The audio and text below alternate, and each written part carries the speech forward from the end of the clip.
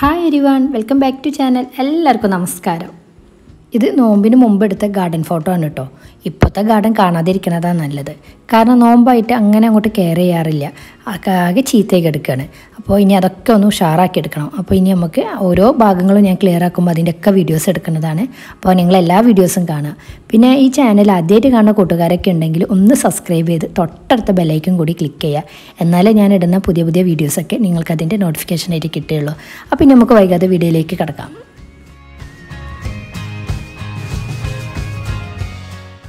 അപ്പോൾ ഇന്നത്തെ വീഡിയോ പോർച്ചിലേക്ക് അതായത് പത്ത് മണിപ്പൂ.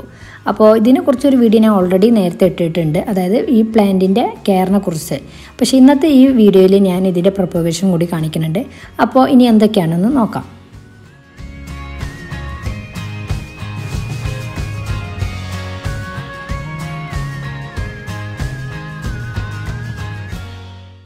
നിങ്ങൾക്കറിയാവുന്നതായിരിക്കും ഇന്ന് പത്ത് മണിപ്പൂ എന്ന് പറയുന്നത് ഒരുപാട് കളേഴ്സിൽ അവൈലബിൾ ആണ്.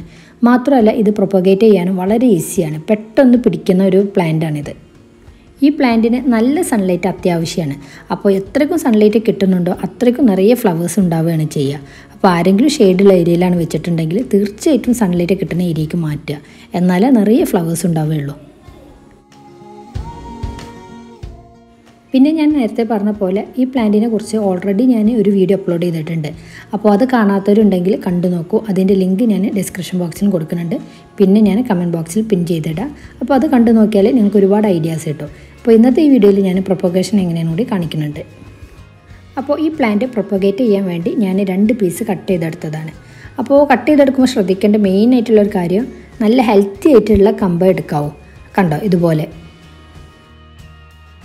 അപ്പോൾ ഇതുപോലെ ജസ്റ്റ് ഇങ്ങനെ ടച്ച് ചെയ്ത് കൊടുത്താൽ നമുക്ക് അറിയാൻ പറ്റുമോ നല്ല ഹെൽത്തി ആണോ ഇല്ലേ എന്നുള്ളത്. കണ്ടോ? ഇനി ഞാനിത് ജസ്റ്റ് ഒന്ന് കട്ട് ചെയ്ത് കൊടുക്കുകയാണ്. അപ്പോൾ ഇത്ര ലെങ്ത്ത് ഉള്ള പീസിന്റെ ആവശ്യമില്ല. നമുക്ക് ഇത്രയൊക്കെ മതി കേട്ടോ അതാണ് ഏറ്റവും ബെറ്റർ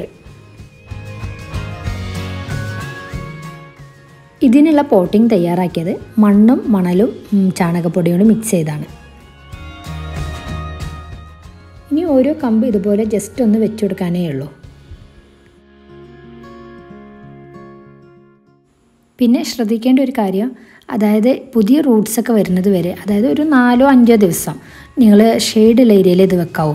ഒരിക്കലും സൺലൈറ്റ് കിട്ടുന്ന ഏരിയയിൽ വെക്കരുത്.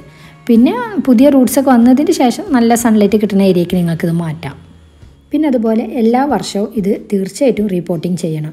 എന്നാൽ നല്ല ഹെൽത്തി ആയിട്ടുള്ള കമ്പും അതുപോലെ നിറയെ ഫ്ലവേഴ്സൊക്കെ ഉണ്ടാവുകയുള്ളൂ.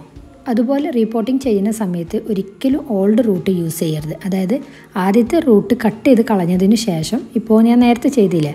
അതുപോലെ ചെറിയ പീസായി കട്ട് ചെയ്തിട്ട് വേണം പിടിപ്പിക്കേണ്ടത്. ഇനി ഇതിനെക്കുറിച്ച് കൂടുതൽ അറിയാൻ താല്പര്യമുള്ളവരാണെങ്കിൽ ഇവിടെ ഈ എന്റെ സ്ക്രീനിൽ കാണിച്ചിരിക്കുന്ന വീഡിയോ കണ്ടില്ലേ? അതിൽ ജസ്റ്റ് ഒന്ന് ക്ലിക്ക് ചെയ്താൽ മതി. അപ്പോൾ നിങ്ങൾക്ക് നേരിട്ട് അതിലേക്ക് പോകാവുന്നതാണ്. അപ്പോൾ ഇനി അടുത്തൊരു അടിപൊളി വീഡിയോയുമായി വരുന്നത് വരെ. Okay bye